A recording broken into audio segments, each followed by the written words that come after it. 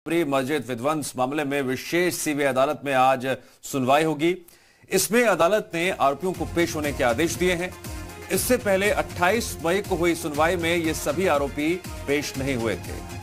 बचाव पक्ष के वकील ने अदालत से गवाहों के पेश होने के लिए समय मांगा था, जिस पर विशेष अदालत ने 4 जून की तारीख तय की थी। दरअसल बाबरी मस्जिद विध्वंस मामले में बीजेपी नेता लालकृष्ण आडवाणी, यूपी के पूर्व मुख्यमंत्री कल्याण सिंह मुरली मनोहर जोशी, साक्षी महाराज रामविलास वेदांती और ब्रजभूषण शरण सिंह समेत 32 आरोपियों के बयान दर्ज होने हैं।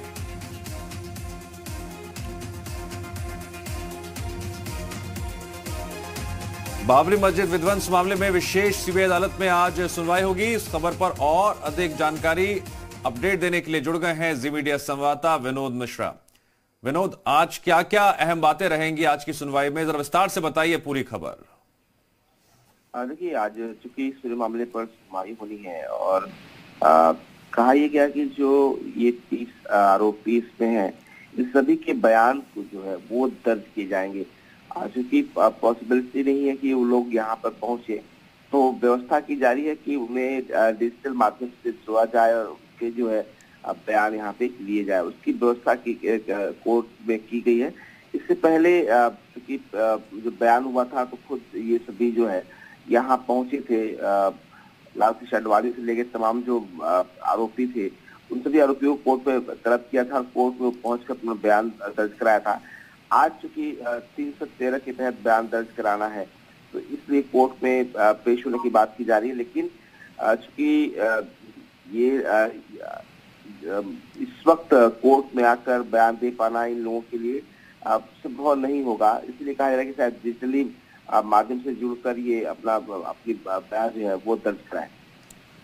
विनोद, खबर ये भी आ रही है। अगर मैं नाम लूँ तो विनय कटिया, पवन पांडे, रामविलास वेदांती धर्मदास, विजय बहादुर, संतोष दुबे, गांधी यादव, ये कोर्ट में पेश हो सकते हैं, जबकि मुरली मनोहर जोशी, एल के अडवाणी, साध्वी रितम्बरा समेत अन्य जो आरोपी हैं, वो शायद कोर्ट में पेश ना हो पाए। बिल्कुल जिसमें बता रहा था कि सभी आरोपी पेश हो पाए कोर्ट में पॉसिबल नहीं आज। चूँकि आज कहा जा रहा कि जो बत्तीस लोग हैं इनमें से कुछ ही आरोपी जो है कोर्ट में पेश हो पाएँगे। बाकी लोग आज के कोर्ट में पेश नहीं पाएँगे। डिजिटली जोड़ने की उनकी बात भी कही जा रही थी किसी शायद को डिजिटल जोड़कर कोर्ट से और उनसे बयान दर्ज की जाए। तो ये भी एक प्रोसेस हो सकता है जिसके लिए थोड़ा सा हमें इंतज़ार करना होगा। ठीक है। आज इस पूरे मामले में सुनवाई बिल्कुल विनोद और जी उत्तर प्रदेश उत्तराखंड पर इस खबर से जुड़ी हर अपडेट दिन भर हम दर्शकों तक दिखाएँगे बताएँगे। आप नज़र बनाए रखिए। आगे भी आपसे अपडेट लेंगे जानकारी लेंगे जब सुनवाई शुरू होगी। फ़िलहाल बहुत बहुत शुक्रिया आपका। अयोध्या पहुँचे श्री राम जन्मभूमि तीर्थ क्षेत्र ट्रस्ट के सदस्य जगत गुरु स्वामी वासुदेवानंद सरस्वती ने राम मंदिर के मॉडल में परिवर्तन की मांग को खारिज कर दिया है। उन्होंने कहा, ऐसी मांग करने वालों को विशालता की परिभाषा खुद बतानी चाहिए। उन्होंने कहा, जिस संगमरमर के पत्थर से राम मंदिर के निर्माण कराने की मांग की जा रही है, वो मौजूदा परिस्थितियों में सुलभ नहीं। उन्होंने साफ़ किया, राम जन्मभूमि न्याय के मॉडल के आधार पर ही राम मंदिर का निर्माण होगा। इस मॉडल को पूरे विश्व में प्रदर्शित किया गया है। ऐसे बुद्धि की विपरीतता नहीं होनी चाहिए।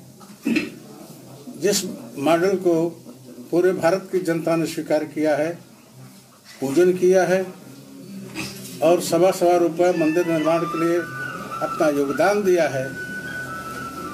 उसी मॉडल के अनुसार मंदिर बनेगा।